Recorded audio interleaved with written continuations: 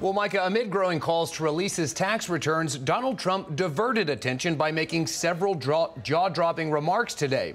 He reversed course on false claims that the president was not born in the United States, only to float another tall tale on the issue.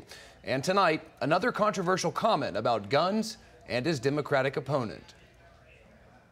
In Miami, Donald Trump appeared to raise the specter of violence against Hillary Clinton. I think that her bodyguards should drop all weapons. They should disarm. Take their guns away. She doesn't want guns.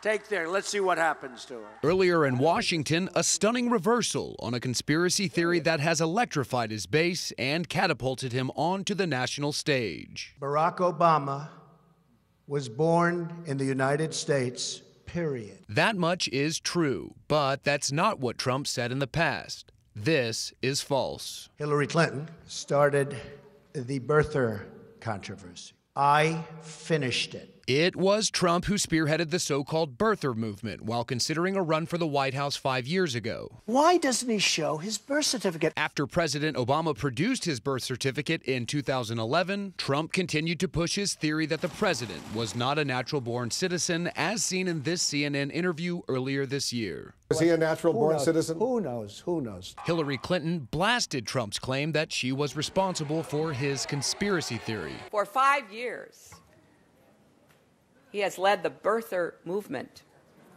to delegitimize our first black president. His campaign was founded on this outrageous lie.